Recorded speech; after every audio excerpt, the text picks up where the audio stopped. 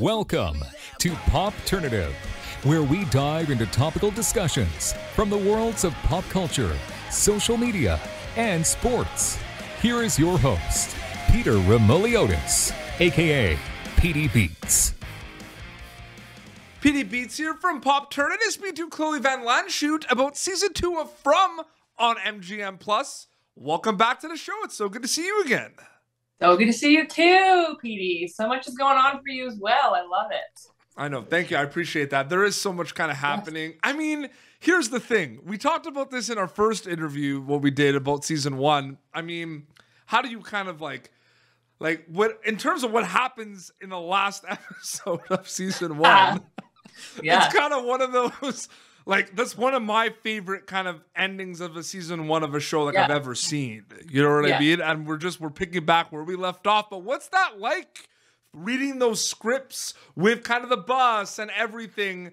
At, like finally getting those scripts for season two. Like I want to know about that because we didn't talk about that last time. No, because we didn't have the scripts yet. Think we had been officially picked up for a second season yet when we spoke. So yeah, lots has happened since our last time together. Yeah, honestly, it was pretty wild to read. There's so much anticipation. Yeah. Uh, we were also starting to shoot like a week and a half before but we, we started shooting uh, a week and a half before we got those scripts so there wasn't a lot of there wasn't a lot of time to have a lot of anything. So it's just kind of I think a lot of us just were rolling with our with our instincts because you didn't have too much time to get in your head about it, which I prefer personally. Um, I love just rolling with what comes up first. Uh, but yeah, it was it was a, a, pretty zany time, and there's just so much packed into those first two episodes. It's like questions, answers, everything in between. Like it's just the the it's such a dynamic couple episodes. It's a very dynamic season actually, so it really just hits the ground running, which I think uh, the audiences will really appreciate. Yeah. We got, we got some storylines and certain things that we got to talk about in, in, in, regards to Chrissy, obviously, you know. But yeah. before we do that, I mean, season two is scarier than season one, and I feel like that's something hard to do because season really? one was so scary. Yeah, it was a freaky time. I you've seen more than I have, so that's really exciting. Um, but it's just it's so scary. Yeah. Like it actually is. Yeah. It's funny because you know how you watch shows and it's like thriller, horror, sci-fi, right? Yeah. It's like this. this one is like the horror movie equivalent of a TV show. Like that's how I look at it. You know what I mean? And I think it comes down to like all these characters have so they are human beings. They're not just characters on a show. So I think the audience like really attaches themselves to it. So the stakes are so much higher for the audiences too because you deeply care about these people as well. Um, so it just heightens everything, which I think is the sign of a really good television show too. But yeah, it's definitely freaky deaky, man. I can't wait to see it. It's interesting no too. It's interesting too. you make me feel bad because I've seen. It. But like, um, you see how I just brushed over that? When you're like, you've yeah. seen more than me. I'm just like, yeah. My question. but um, it's funny. I, I was I don't know if I might or might not have seen you were short, so I, I want to see it. So I can play that. I can play that game too. right. We can, we can go back and forth on this. Can we? But, uh, so I find it interesting because some storylines that I really love this season, you know, involve your character. Obviously, there is, you know, this reuniting love story. Yeah that yeah. if you know, you know at this point, by the time the episodes, the, this interview's out, the episode's gonna be out. If you know, you know. It's just kind of like one of those, like, I really didn't like see it coming. Like you know about it. She talks about it a lot in season one, and then it, she the eye contact, Kaelen, and it's just like, oh my goodness. Yeah. So what was that like? Kind of reading that and then filming that sequence. Oh man, I thought about that moment forever, forever it, and I it was one of the main things that happens in that episode for my character too. So I didn't actually have a lot of other things to focus on other than that moment. So sometimes that's a gift and sometimes that's a curse. But I think it just, yeah, it really marinated deeply. And I met Kaelen, I think like a week before we, we shot that. So we really, her and I just like really hit the ground running in terms of just kind of developing a connection and getting to know each other. And then um, yeah, she's not a she's not a very challenging person to care for at all. So it didn't take much um, for it all to kind of sit and become real for me. Mm-hmm. Um, and then when we shot it, I kind of blacked out. honestly, like yeah. I think those moments you can't really plan for. Um, it's going to be emotional no matter what. Of course, and you can't decide what it is. I mean, Kristi never actually thought that this moment would ever come. Like we we ended season one with her kind of starting to sit and consider that I we may never see she may never see her again. Yeah. Um, and there was just that hint of like it's of letting go, just a hint of it, and and and moving on, but not totally. Kristi didn't totally give it away. We see her still questioning it and and and having a challenge with with that decision but leaning into something else for the first time and being quite vulnerable with it. And then season two episode one opens with essentially reuniting and and christy being kind of met with with everything that she's just started to lightly let go of. So it just kind of hits her full force and her brain is quite broken it, it, it's wow. it's true because there is that kind of closure, and I also have to say, like, the acting in this show is one of my favorite things ever. I mean, you do such an amazing job. Uh, Ricky is crushing it. This, like, I just, yeah. it's so much emotion, and it's so funny because my next question is, Sarah, this character has just like caused so much stuff for all these characters that like deeply care about each other, you know, in this yeah. show. Mm-hmm. And everyone is just like losing it basically when they find yeah. out this character comes back. Cause that is one of the biggest things. You know what I mean? Yeah. That's a big plot point in this. It's a season. big one. And everyone and they they kind of like they take turns. The reactions take turns basically. You know what I mean? Yeah. And it's like it's interesting too, where it's a show that has a lot of scares and it's a show that has a lot of characters, but everyone really has their time to shine in from, like in terms of character development. Like I feel like we really like dive into all these characters, and there's mm-hmm. a lot of characters, and that's very yeah. difficult to do. You know what I mean? Yeah, there's a lot of storylines, but I think season one we re- really established the world that we were living in, and. Mm-hmm and kind of the day to day and like what's required to survive in that town to really ground the audience in that.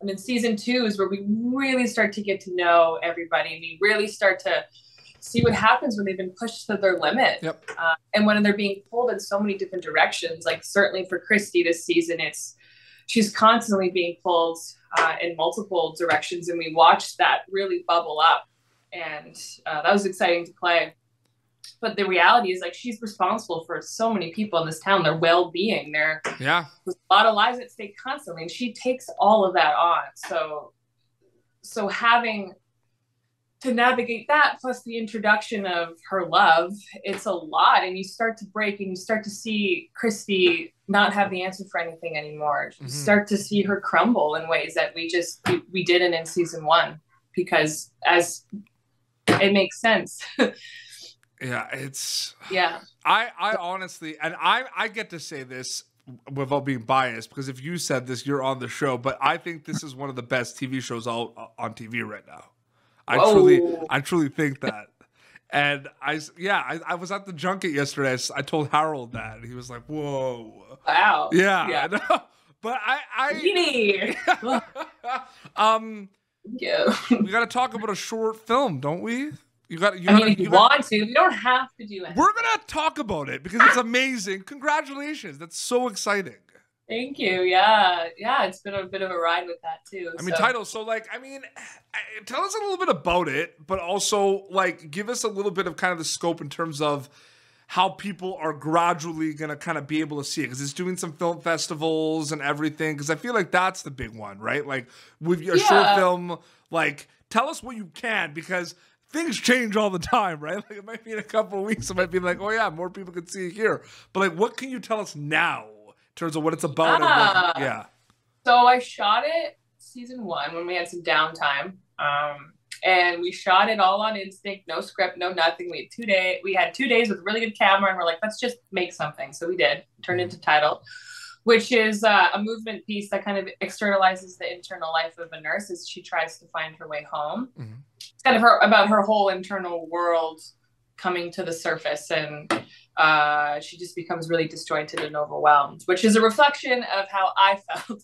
Um, while I was nursing, um, I've been a nurse since 2016, and it was very, very, very peaky uh, during the pandemic, obviously. Mm-hmm and we talked um, about that a lot last like last time. Yeah. Right? Yeah.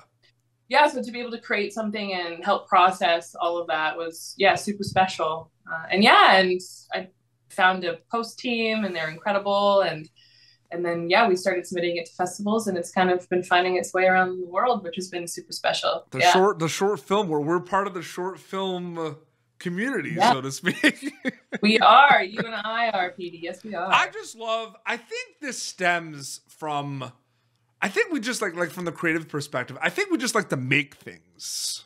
Yeah. Like I think that's it's simple as that. You know what I mean? like Yeah, especially it's like yeah, without putting any expectation on it too. Like I didn't put any expectation on Tidal. I was just like, I just have this story inside of me that I want to tell, and I don't know how I'm going to tell it quite yet. But it's just finding people on to surround yourself with too, who kind of have that attitude as well, and who want to make fun stuff because it's supposed to be fun and joyous and sometimes hard, but it's art. It's fun. it, it is fun, and yeah. I feel like it's it's so funny too because the first I, I re-did like I rewatched our first interview. I always do that a little bit to kind of refresh yeah. and everything, and I'm like really into it because I'm like it's my favorite show. You know what I mean? Yeah, so, and then it's so funny because you can see you're just like. I love the enthusiasm. and like, like everyone's trying to keep up, but it's like what you just said, it's fun, it's art. If we're not excited for it, what's the whole point of all this? Yeah, I don't know. Like the world needs more people who feel alive. So let's just feel alive. Let's make stuff. I don't know. It's I don't know how else to be. And does it kind of does it kind of just happen that you're just gonna kind of wear many hats in the entertainment industry, or do you kind of feel like you have this kind of like idea that you want to kind of like act, but you also want to write and you also want to direct or produce. Because I feel like a lot of it kind of just happens. I feel like you just kind of get like thrown in and you do a lot of different things.